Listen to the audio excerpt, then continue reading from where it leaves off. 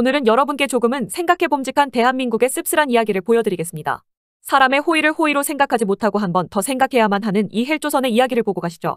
저를 살려주신 서귀포 경찰서 XXX 경찰관님 정말 감사합니다. 라는 실명이 거론된 하나의 칭찬합니다. 글이 제주경찰청에 올라오게 됩니다.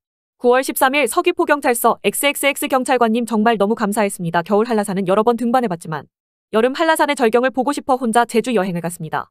혼자 산행을 시작하고 정상을 10분 남긴 시점에 갑자기 어지럽고 졸려와 계단에서 깜빡 잠이 들었고 정신을 차려 다시 올라가려 한 순간 심한 어지러움증과 구토 증상이 나왔습니다. 지나가시던 한 분이 제 상태가 안 좋은 걸 아시고선 같이 있어주시겠다 말씀하신 순간 과호흡과 함께 손발이 저려오고 극심한 추위에 몸을 떨며 일어날 수조차 없어 지나가던 분은 신고를 해주신 후 별다른 조치 없이 기다리기만 하셨는데 때마침 비번으로 산행 중이시던 XXX 경찰관님이 그런 저를 보시고 상태 파악 후 바로 응급조치를 시행해 주셨습니다. 극심하게 추위에 떨던 저를 안아주시고 혹여 입이 마를까 수건에 물을 적셔 입에 올려주시고 갑자기 혀가 말리는 상황이 와 저 또한 극한의 공포에 이르렀을 때조차 경찰관님이 안심시켜주면서 인적사항을 받아 적어주셨고 그런 와중에 계속해서 저려오는 손발을 30분 넘도록 주물러 주셨습니다. 구급 헬기 선착장까지 내려가야 하는 상황에 의식이 반 이상 없어진 저를 어때에 들쳐 업고 내려가며 저의 상태를 확인하며 체온을 올려주려 노력해 주셨습니다. 의식이 돌아온 저는 경찰님께 연신 감사하다고 말씀드렸지만 당연히 해야 할 일이었다며 다시 정상을 오르셨습니다.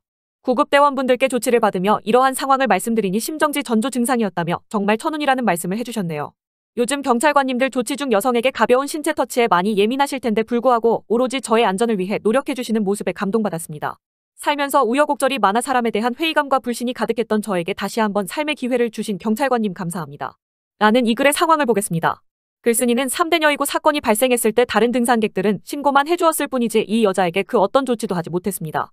하지만 남성 경찰관은 그런 리스크를 감내하면서 여성을 위해 희생했고 상대녀는 남성이 여성을 돕는 건 쉽지 않은 일인데 도와줘서 감사하다는 말을 하게 되죠. 위험에 처한 여자를 도와주는 남성의 이런 모습을 보고 여성시대에서는 이 남성분을 영웅이라 말하며 감사합니다 의인입니다 대단합니다. 같은 반응을 쏟아내고 있습니다. 여성시대는 페이커 선수가 3천만 원을 기부한다는 내용에도 기부 더 해라 돈 많이 벌잖아 페이커 돈 많이 못 벌어 세금 감면하려고 내는 것 같다 더 내라 버는 게 얼만데 남자들 왜 이러냐 역시 땡 같은 은유적인 성적 비하도 하면서 남성의 기분은 깎아내리던 게 한국 여자들입니다. 하지만 남성이 여성을 구해냈다는 내용에는 180도 달라진 모습으로 감사합니다 감동이야 진짜 대단하시다 사람 살리는 게 천직이야. 같은 소리를 하면서 남성의 선의의 행동에도 갑자기 칭찬을 쏟아내는 한국 여자들을 보실 수 있죠. 뭔가 반응이 상반된 느낌이 들지 않으십니까? 자신의 일상에 하등 상관없어 보이는 3천만 원 기부는 개같이 욕하면서 화를 버럭버럭 내는 한국 여자들. 자신의 일상에 상관이 있어 보이는 남성들의 여성 구조에는 칭찬을 하면서 영웅이라고 치켜세우는 한국 여자들. 그녀들의 행동 강령이 어떤 식으로 돌아가는지 여러분은 이제 감이 오실 겁니다. 한라산에서 심정지 올 뻔한 3대녀도 여자의 신체에 터치하는 거 예민할 거다.